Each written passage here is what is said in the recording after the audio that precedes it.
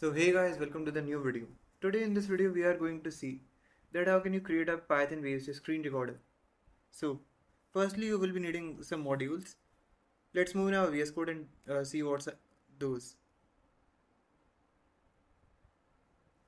Okay, but before that what you have to do is you have to select your required folder by going in file tab here and then open folder and then select your desired folder after that, just by clicking here, you can create a file named as main.py or any name you want.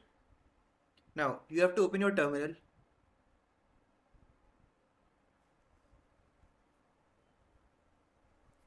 After that, you will be needing some modules like uh, pip install, OpenCV Python, OpenCV Python. I have already downloaded this so it is showing requirement already satisfied. Okay other modules are uh, numpy and py, py auto gui numpy py auto gui and other one is okay so these are the modules which we will be needing in this video. So our installation part is done. Now what you have to do is you have to import these modules. Import CV2 and py auto GUI, auto GUI and other will be numpy as np. Okay, so these are the modules which we will be needing in this video. Now what you have to do is you have to get the screen size that is width and height equals py auto GUI dot size. Now what you have to do is you have to create a you can say video writer. So out will be video out uh, video writer cv2 dot video writer dot record dot avi or output dot avi. Okay, so these are the configurations for this.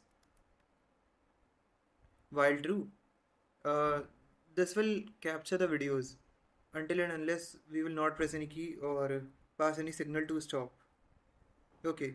So while true frame equals np dot array np dot array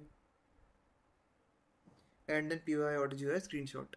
What this will do is this will uh, create a list of screenshot or array of screenshots and convert those into frames or into numpy arrays. After that what you have to do is you have to create another for like yeah this one for RGB what this will do is okay so what this statement is going to do is this will convert all the you can say RGB to BGR okay now what you have to do is you have to just write frames write these frames out equals uh, out dot write out dot write frame. That's it. We are almost done. Now you have to press a key to stop this recording. Yeah it can work. If we press key uh, that is q then it will break uh, this. That means it will stop recording.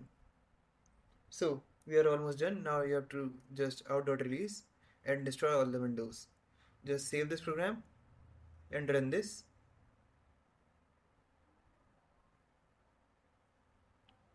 Okay so this is recording our video. Let's uh, press Q.